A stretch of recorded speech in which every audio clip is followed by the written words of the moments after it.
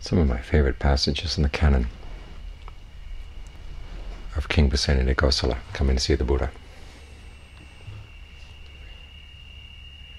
You get the impression that before he knew the Buddha, he wasn't much of a thoughtful person. He was he was a king, enjoyed the sorts of things that kings enjoy, especially when they're intoxicated with power.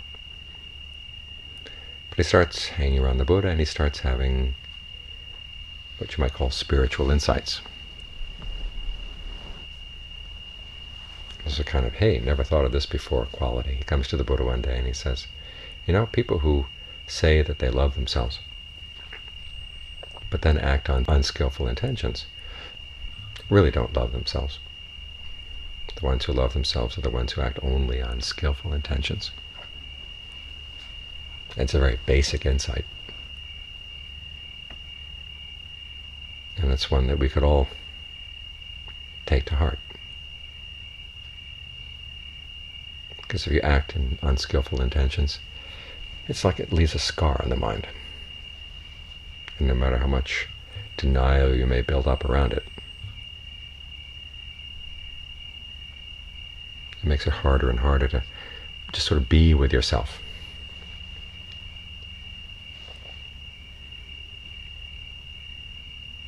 harder to be true to yourself, true with yourself, to admit what's actually going on in the mind.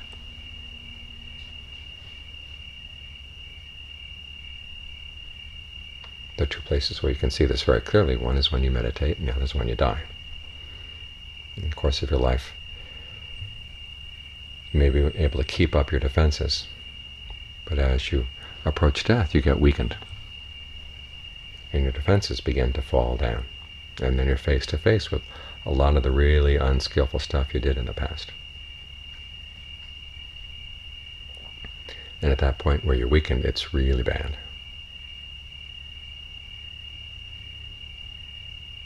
So this is why it's good to meditate well before that point, because you can start dealing with those unpleasant memories.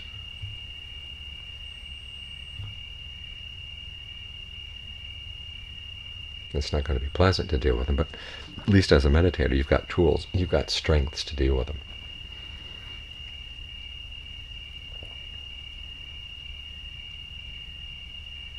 Because what you're doing as you're meditating is to set up a specific intention, this skillful intention right here, to stay with the breath, to be alert, to be mindful. To put an effort into pursuing the path. And you're going to run up against a lot of other intentions that go crosswise to the path or pull you back in the other direction. And you've got to learn how to deal with them. And if you deny that they're there, you can't really deal with them effectively. So you've got to learn how to be honest with yourself that yes, you do have unskillful intentions sloshing around in the mind.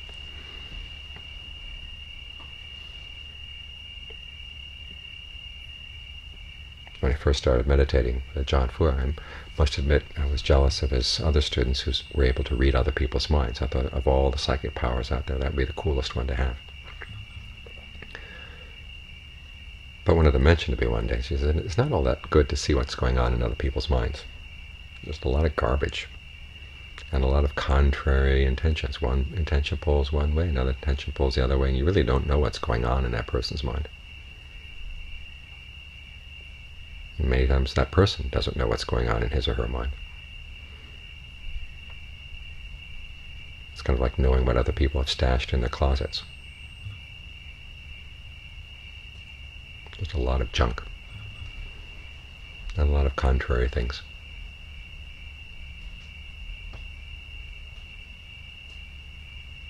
And so one of the things is we're trying to learn as we meditate is to learn how to straighten things out and at least be clear about our intentions.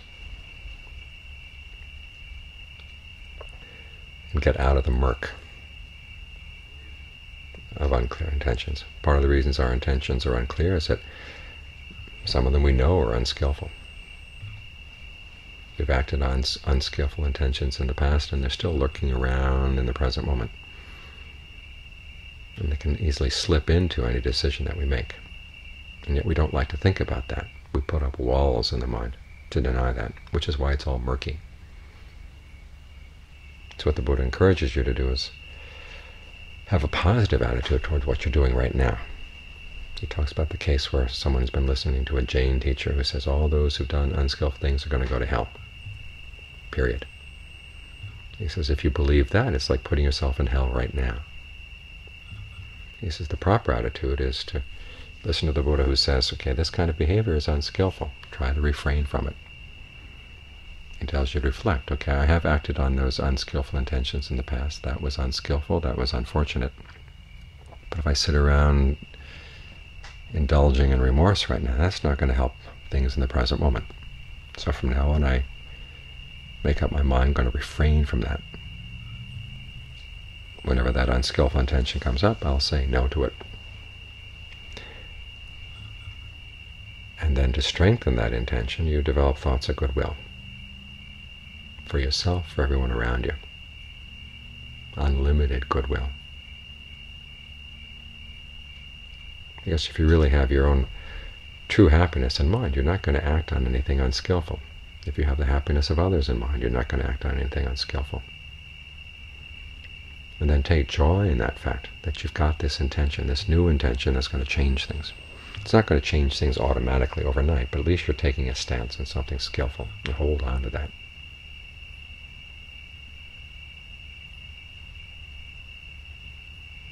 And try to notice any intention that comes up that goes against that attitude of unlimited goodwill.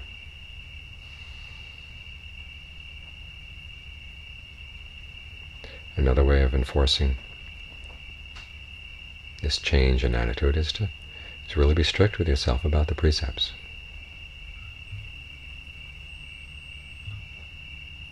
Because the precepts force you to be clear about your intentions.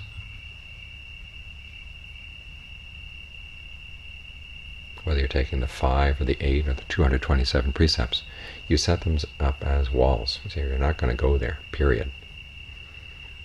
And then you'll start noticing all the mind subterfuges and all of its clever ways of saying, well, no, that that's a silly rule. You're being legalistic.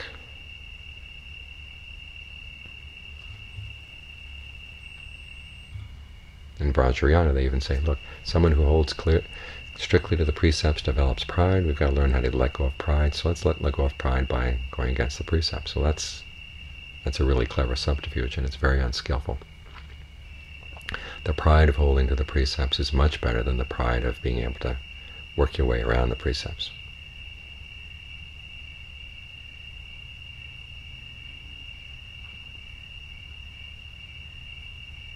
The meditation also forces you to be clear about your intentions. Anything that deviates from your original intention to stay with the breath, you've got to be clear about it. Otherwise, you're going to be spending your whole meditation period wandering around, looking at the sights, smelling the flowers, not really doing the work that needs to be done. So all the training is aimed at getting you to be really honest with yourself about what your intentions are, and to admit that there are unskillful intentions in the mind, and not to get depressed about that fact, but simply see them as challenges to be overcome. We all have unskillful intentions. As Ajaan Lee once said, to study is to know the texts, but to practice is to know your own defilements. So you're going to have to face up with your defilements. You've got greed, you've got anger and delusion. So don't let that depress you. Just realize, okay, there's work to be done. And you've got the tools to do it. At the same time, you've got these different aspects of the practice. Precepts, goodwill, the meditation.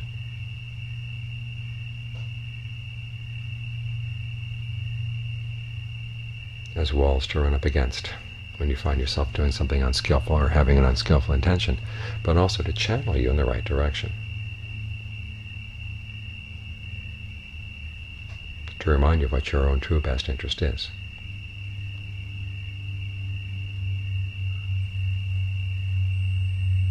trick is not to let yourself get depressed or down about your unskillful intentions, whether past or present.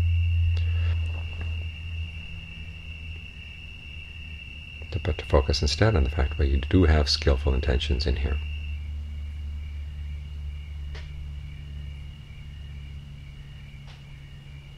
And the more you follows, follow those skillful intentions,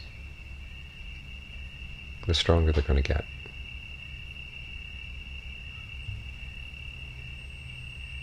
And even though they may seem artificial sometimes, you say, that's not the real me. The real me is probably really unskillful. Well, remember what the Buddha said about the real you. It's a creation. You're free to create it. And if you're creating a new type of you, well, that's fine.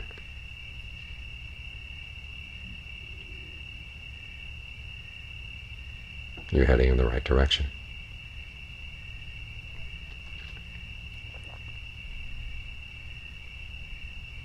But all this depends on your ability to be able to see your unskillful intentions, to admit that they're there. Then when you admit that they're there, you can work with them.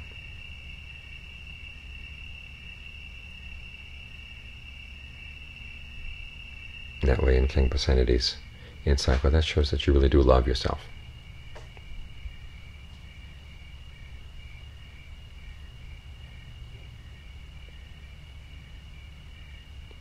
And it reinforces the Buddha's own primary request for a student. He said he wants, bring me a person who tells the truth and is no deceiver, and I'll teach that person the Dharma. That's the basic requirement to practice. And being no deceiver means not only that you don't deceive other people, but you don't deceive yourself. And although we may think that being honest with yourself means seeing all your bad points and nothing but your bad points, true honesty requires that you look that you, realize also that you've got some good potentials.